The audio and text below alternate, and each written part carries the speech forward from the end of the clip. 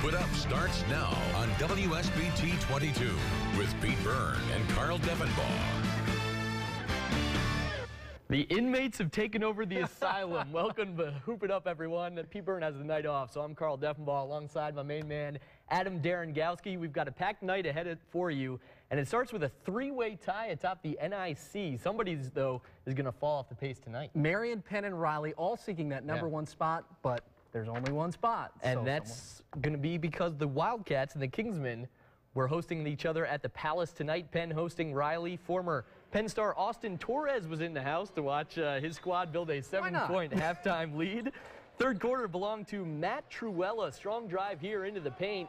That would make it 31-20 Penn.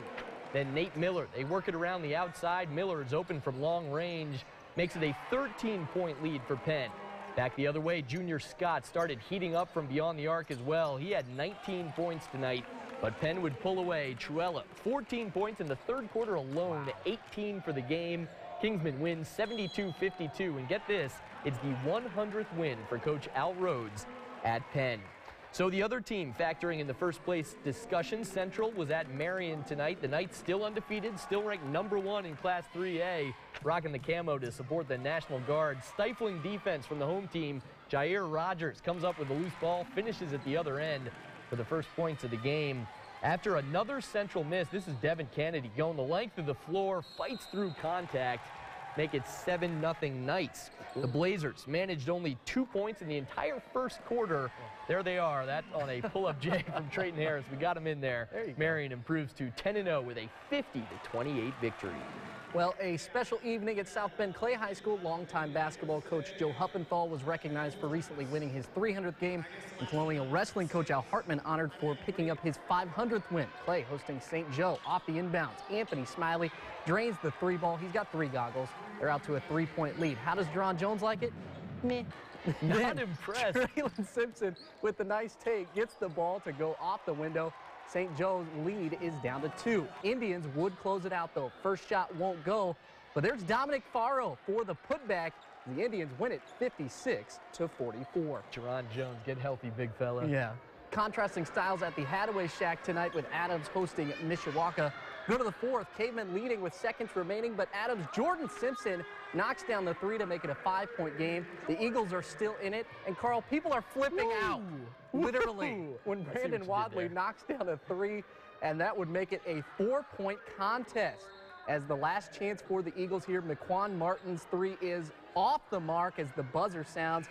Cavemen get out of there with a win, 58 to 54. Ooh, that was a thriller. One other NIC score to pass along for you. Washington stomped Covert from Michigan 87-35. And with that, we're going to turn things over to the annual Bi-County Tournament, one of the staples in this area. Well, Oregon Davis, Glenn, Argos, and LaVille were all victorious earlier in the week, setting up a couple of really good semifinals. And those were tonight. We turn over the scene to LaVille, where the host Lancers were in action in the late game, taking on Argos. Adam Stanky, hiding in the weeds kind of, comes up with a steal, and then second chance is the charm. Lancers up 8-5. Nate Morris weaving his way through the lane for the Dragons. That would still make it a three-point LaVille lead. And then check this out. Blake Berger shaking dudes, pulling up for two after that. LaVille defends their home court 38-31. They will face the winner of this one, Oregon Davis and John Glenn. That would be tomorrow night for the title. John Glenn was pretty hot early on as Calvin Kirchner, they'll work it to him in the corner. He will drain the three ball as that puts the Falcons out to an eight-point advantage. And if one is good, two is better. Kirchner again for three. He would single-handedly push the Falcons out to a 10-point lead, but Oregon Davis trying to stay in it. Carl Scheckenberger, no relation, drives into the lane and hits the lay-in, but it's all for naught as Glenn wins it 57-49. Cousin Carl. Well, in the consolation rounds, it was Bremen taking on New Prairie. Two NSC fro- foes, both jumping to the NIC next year. That's Ryan Topper. Pretty move to tie the game on the lay-in in the early goings. Then Grant Clockout for Bremen, kind of in some trouble, but able to get out of it. Drains a short J to make it six all. New Prairie, though, would pull away as Luke Ketterer bucket and the foul as well to go with it. Cougars win big, 63 to 39. In the other consolation contest, Culver looking to snap a four-game losing streak as they took on Triton. Culver's John Kresk puts his puts this one in the bucket. Culver with an early one-point advantage. But Triton's Jordan Anderson was just too darn good tonight. Here, he knocks down the three as he finishes with 14. Triton wins it 47-33. It's been entertaining all week long. We'll see what the championship game turns out like tomorrow for sure. We need a timeout, I think. we do need a timeout. Hey, how about we take one? Why not? Hey, when we come back, first place teams in Michigan are going to hit the court as well. Lakeshore trying to hold on to its top spot, and Edwardsburg trying to take down conference leader Paw Paw. All that and much more coming up next on Hoop It Up.